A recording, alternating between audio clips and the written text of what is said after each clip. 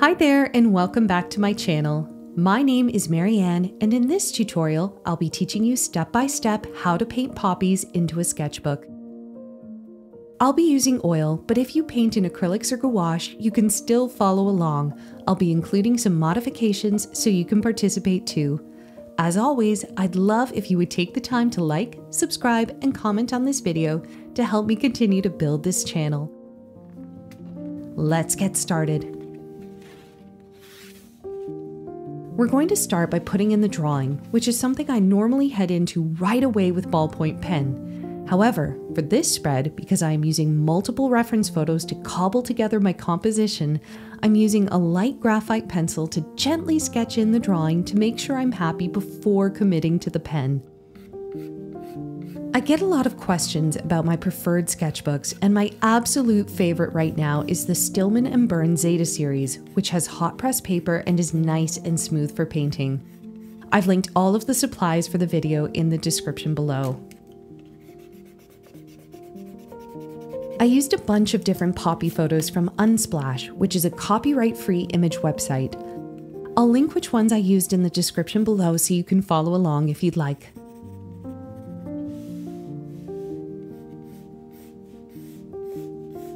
Once the drawing is complete, I go over the whole thing with ballpoint pen.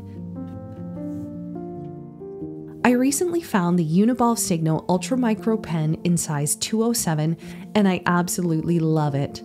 The ink really glides and doesn't glob nearly as much as my other ballpoint pens.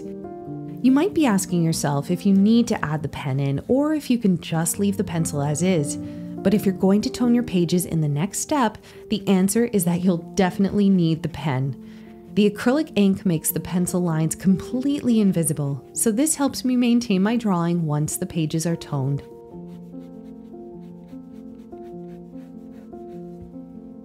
In my last botanical sketchbook tutorial of the Lily of the Valley, one of the oops moments that I had was when I was adding the writing to the pages. Because I was dodging my filming equipment and trying to work around cameras, I wound up putting everything in on an angle, which I think looks pretty silly. To prevent this from happening again, I found these line templates on Amazon, and since pencil does vanish under acrylic ink, I could add in some lines with pencil to use as a guide for incorporating the writing with the ballpoint pen.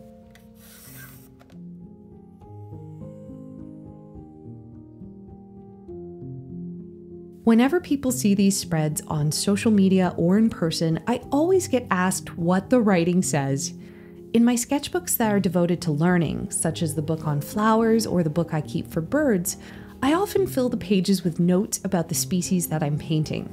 However, for this particular spread, given the meaning of poppies, I decided to pay tribute by transcribing two famous poems from World War I. The first poem included is In Flanders Fields by John McCrae, and the second is Dulce et Decorum Est by Wilfred Owen. If you're following along with the tutorial, you can write whatever you'd like into the background. You can make notes on poppies or journal about your own life. What's beautiful about these books is that they are so personal, so you can choose to write or not write, whatever works best for you. Once the spread is fully drawn and written in, it's time to tone the pages. I use these acrylic inks by Liquitex Professional and they are awesome. For this spread, I am using transparent burnt umber with a little bit of Prussian blue to prevent the burnt umber from leaning too orange. First, I spray down the pages and you'll want to make sure you clip them first because they will start to curl. Clearly, I forgot to do that and had to throw some clips on, but it's fine because these pages will forgive you and flatten themselves again if they're clipped while wet. Then I dropped on the burnt umber and Prussian blue with a higher brown to blue ratio, but I still found that when I started to smush them together that the blue was turning the pages too green. So I quickly grabbed some paper towel, wiped off the excess, and added more burnt umber to bring the pages back to a nice antique brown.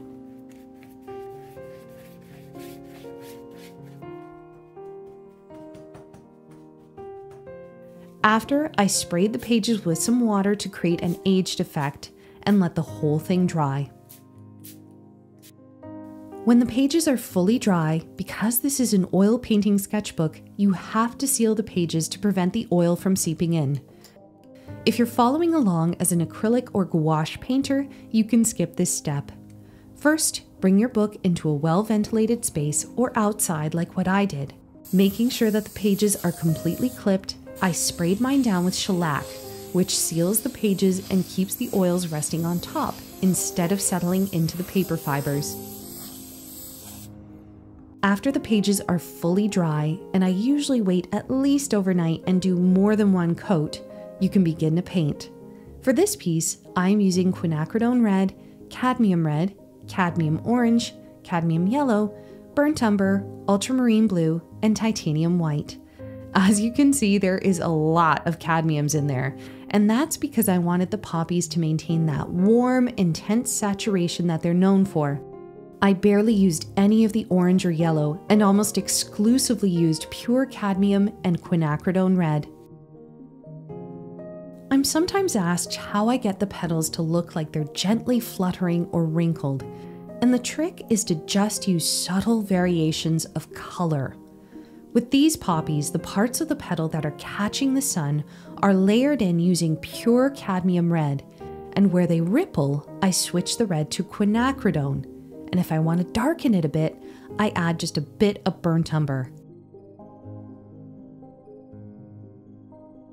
Any reds that appear darker or more purple in the reference photo are quinacridone, but the majority is cadmium red.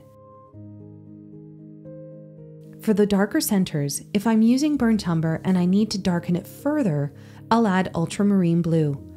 But because of the warmth of these poppies, I'm warming up even the dark centers with a hint of quinacridone red. So if you were to really zoom in, you would see that the centers are actually a rich, dark purple. Near the end of my first page, I was actually starting to get a little frustrated with my brushes because so many of my detail brushes that I use for oils are starting to get old and need to be replaced.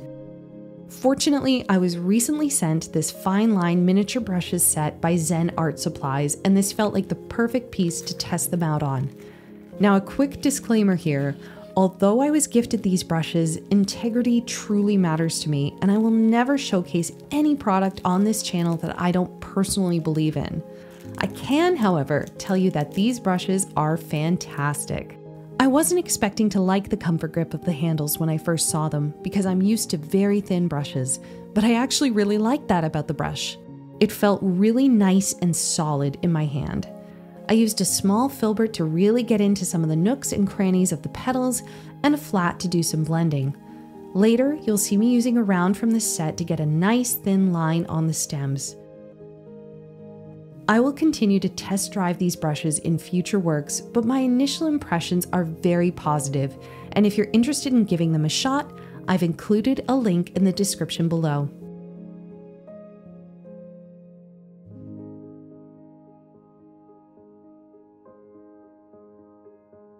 While I was painting, I'd use a hint of Liquin in the paint to make sure that it would dry overnight. If you're painting in acrylic, I would use a hint of gloss medium in the paint to help it blend a little better and to add some richer saturation and depth to the colors.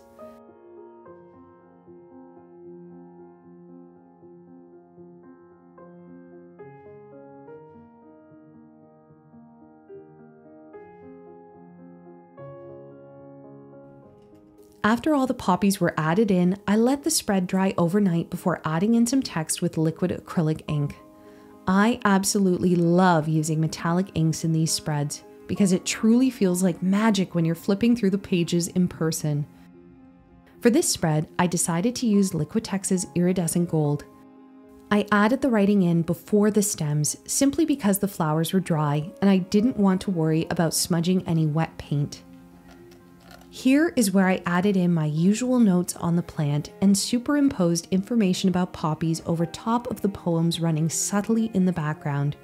For example, in the upper left corner, I added in the various botanical classifications of poppies, including the order, family, and genus of the plant. To finish up the spread, I added in some buds and stems, but completely desaturated the greens in order to maintain the old fashioned vintage feel of the spread. To do this, I used burnt umber, ultramarine blue, and cadmium orange in various combinations to create a muddy brown green. If it needed to be darker, I would add more burnt umber and ultramarine. To warm it, I'd add more orange, red, or a hint of titanium white for the small hairs that are found on the outside of the unfurled buds. Greens can be tricky to mix, but I found that using the cadmium orange instead of the yellow, which you'd normally mix with the blue to create green, kept the color feeling warm and earthy. And with that, this spread is officially complete. Thank you so much for watching and following along, and if you have any questions or comments, please feel free to leave them below. You can also connect with me on Instagram or on Facebook, and I now have courses available through my website. Keep making your life beautiful, and I'll see you in the next video.